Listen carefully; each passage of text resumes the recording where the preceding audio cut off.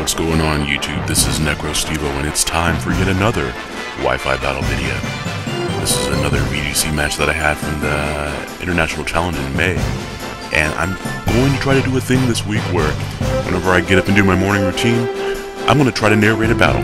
So expect more battles this week and that way I can talk a little bit about E3 every single day too. But anyways though, today's match is against a challenger named Arya.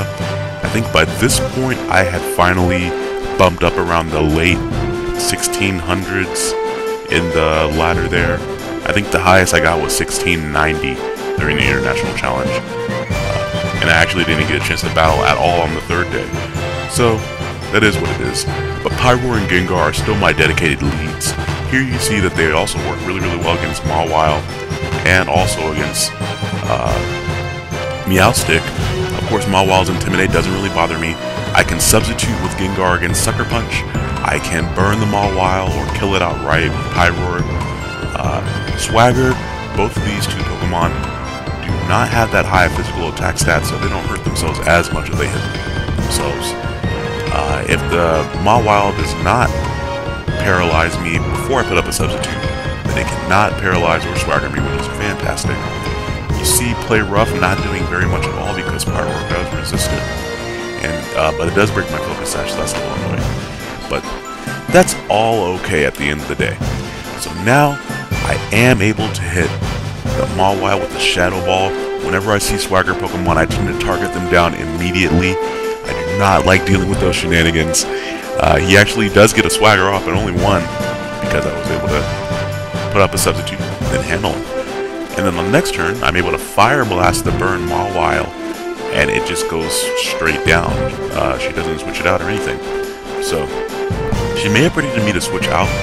Uh, Gengar really doesn't like facing Mawile, generally, but behind a substitute, I'm not that afraid of it.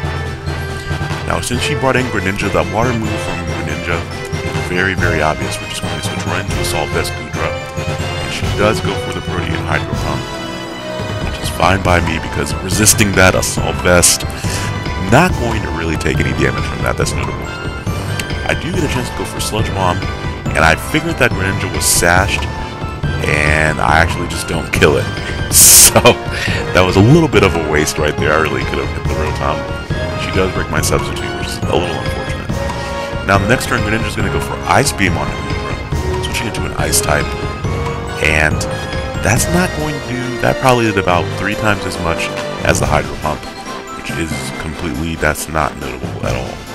I do get poison hacks on the Rotom heat form, but with as much damage as the uh, Sludge Bomb did, it's still going to be a 2-hit KO regardless. Now, she does go for Overheat onto Gengar now that my substitute is down, and is able to take down Gengar, but at this point, it's kind of uh, won. And I really do think um, Gengar's Shadow Tag ability in the beginning of the match, she probably would have switched out into Rotom Heat, especially against Pyroar, if she had the ability to. That was not a good matchup for either of her Pokemon, but she couldn't switch out because of Gengar's ability after I Mega Evolved. So I really think that that made a big difference. A lot of people kind of sleep on that, uh, and Gengar is often uh, paired with things uh, like uh, Gothitelle for the Perish Trap and all that good stuff. But you know, and this match didn't end up mattering, and I was able to take it fairly comfortably.